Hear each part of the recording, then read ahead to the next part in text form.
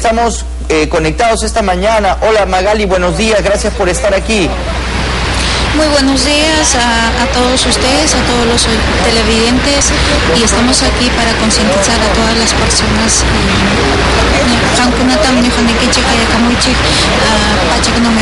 Sichu y violencia pasasor Gracias.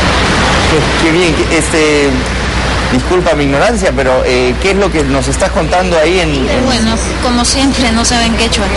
Este, quiero, eh, quiero decirles a todas las mujeres que, que hablan quechua, a los que no entienden español, que, que llamen al número 100 si sufren de alguna violencia porque hay mucho miedo, Magali, y, y, hay mucha gente que se calla, hay muchas mujeres que no denuncian, y, y lo que hay que hacer es... Eh, Denunciarlos. Claro, Denunciar, y, no que, y, que, sepan que, que, hay una protección y una intención ahora eh, del Estado de, de proteger a todas las mujeres que sufren de violencia en casa. Así es, eh, el Estado, eh, la ministra de la Mujer está aquí. Vamos a vamos a lanzar a la, la, línea 100 para decirles a todas las mujeres que, que llamen al a este número.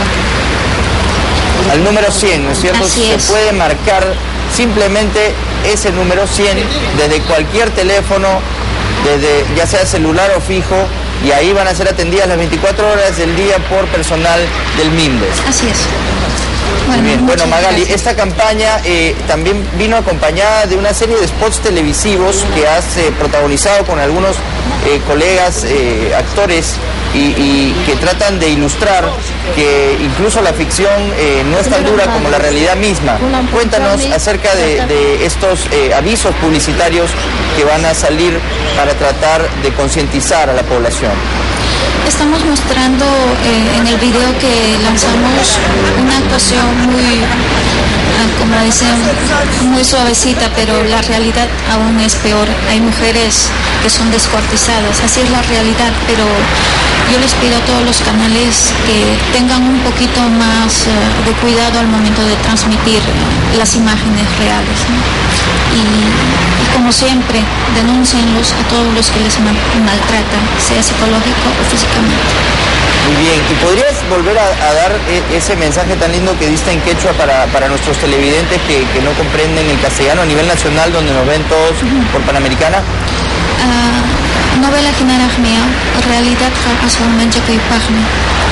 Warmikunata sipispanmi harikunaja wañuchin. Uh, sichun, ya no me acuerdo bien, hay que traducirlo bien.